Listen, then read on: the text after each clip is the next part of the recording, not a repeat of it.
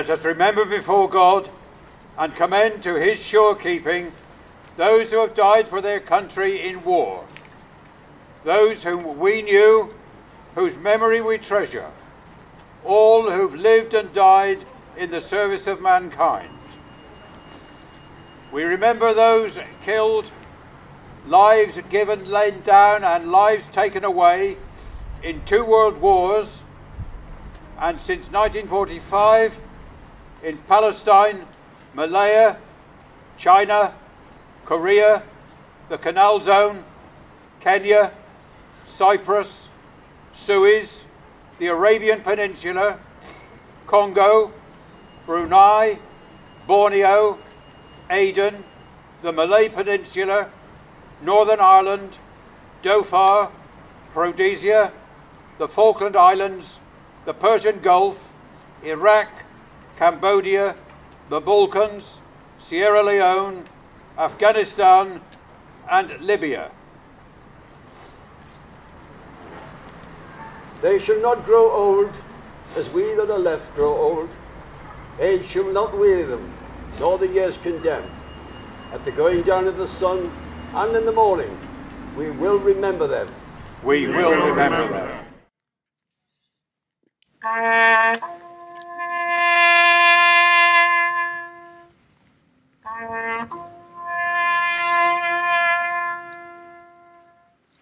Thank you.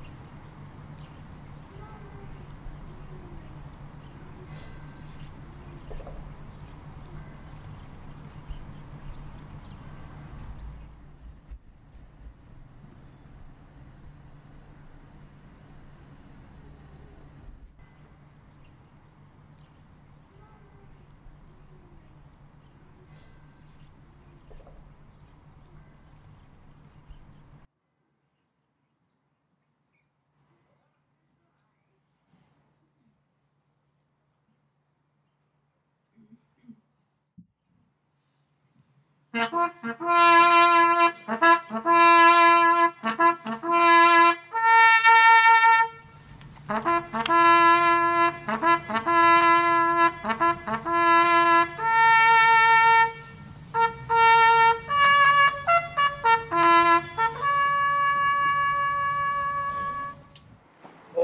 and eternal God, from whose love in Christ we cannot be parted, either by death or life, hear our prayers and thanksgiving for all whom we remember this day.